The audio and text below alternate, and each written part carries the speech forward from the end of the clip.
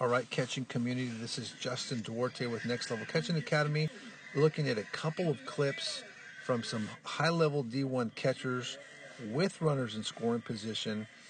Uh, and we have another clip of one of our catchers just after training. And naturally, it's not going to be quite as difficult. The degree of vari- the, the degree of difficulty is much harder in the game here. Obviously, pitchers throwing harder. But let's take a look at some fundamentals and see if we can learn a couple things. Okay, number one, this catcher is in a single knee position. Not something that we uh, we advertise with guys on in scoring position. Yes, catchers should be able to manage blocks kind of within their knees, within that range. Um, but with a runner in scoring position, it's much easier, it's much more secure, higher percentage to execute this play. Okay, now let's go to the technique. All right, the technique sees that he is flashing his mitt to the ground. We see this catcher kind of get his mitt down, which is fantastic. We want that, but then we also see him ride that mitt up. The mitt kind of floats up on him this is where the, the, the, ball stays down and it sneaks away. We see this from a lot of our young catchers. They get the mitt down and then they ride it up. And we, we really focus and we really hammer them on getting the glove down, getting the mitt down, but then also letting the hips follow. And we'll see that on, on our clip here at the end, all right? The next fundamental that we miss a lot is catchers, especially some of our high school guys, is they tend to fold quite a bit at the hip. They got a really sharp fold forward as we see here, which really decreases their blocking surface. Okay, we can see how this gets really shallow and it makes it very difficult for their eyes to stay down on the ball. And this is another fundamental that gets overlooked quite a bit. We want to do our best to watch impact on the dirt and then to watch impact on the chest protector. And so when we lean forward this far, we end up pushing our eyes and our head over our hips, making it very difficult for us to get our eyes down. We, we, we do know that some people like to teach just snap the head down. Well, just because the head goes down does not necessarily mean that the eyes are on the ball. So we try to say we try to tell our catchers keep your eyes on the ball. That allows us to make an adjustment if that ball gets down and then it kicks up high, right? Our eyes now we stay upright, we're not folding down, and we're not allowing that ball to hit us on the top of the mask, on the head portion of the mask, okay? So those couple components we can see here in this block. We see the hands riding up, we see a sharp fold at the hips. Again, some some catchers have been taught to fold and almost trap the ball, to settle the ball down underneath you. Uh, we teach our guys to be in between, kind of have maybe a 45 degree hinge at the hip, um, and to allow gravity to pull that ball down. We don't have to force the ball down because there's already another force, another force of nature that's going to pull the ball down for us. We want to line it up, we want to absorb impact, and have the ball sit down right in front of us.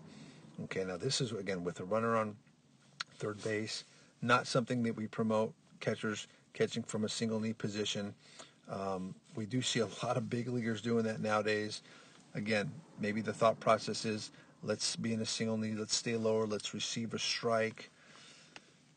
In our view, you know, if we miss out on a strike but we save a run because we're in a better secondary position, that helps our pitcher, that helps our team more, right? Saving those runs. So in this clip here, we're going to see something similar. We're going to see the catcher ride over a little bit and if you if we can see where the eyes are, the eyes start down on the ball, and as he moves over to center it, the eyes kind of quit a little bit early. Okay, we want these eyes to stay down. Again, impact on the dirt, impact on the body all the way. We want to track it. We talk about this quite a bit for hitting. Okay, to watch contact, we want to watch impact. Okay, all the way through. That allows us to recover the ball without having to look for it after it has hit our chest protector. Okay, here's another another opportunity with runners uh, on base, and then now we go to our catcher here uh, at a recent camp. Again, let's let's call this guy Weston here from Santa Ana. Okay, we can see that he slides over really bad blocking surface as well. Okay, his hands he kind of curls his hands up a little bit into his belt. We see that right here.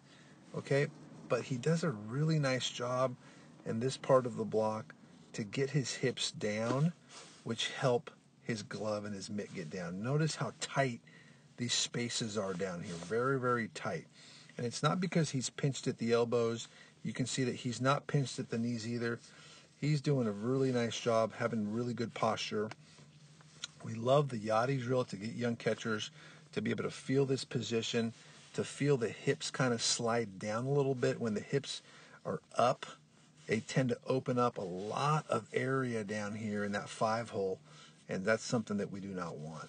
Okay, so as our catcher kind of gets his hands down, his hips drop a little bit, and now we can see what it looks like when the eyes are working. You can see that this ball kind of sits right underneath him as he's recovering, but because his eyes are on impact, he doesn't have to search for this ball and look around for it.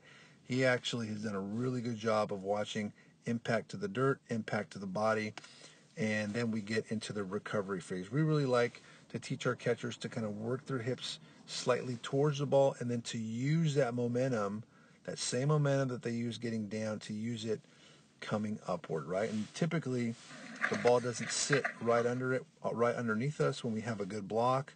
Um, but here we have kind of a, a again a difficult blocking surface. There's a lot of holes down here, but what a great job by him seeing it all the way in and then keeping his eyes on it. In this position here, it's very easy for catchers to start lifting their eyes as they get set to throw to second base, and then they mishandle that recovery portion right there because they rush through it a little bit quickly. So those are a couple key components. Hands down, hips down. We want to center the ball and keep the eyes down from impact on the dirt to impact on the chest protector. Hope this helps you guys. Thank you guys for following along. Uh, we have more info. We have more videos on nextlevelcatchingacademy.com. Take care, baseball fans.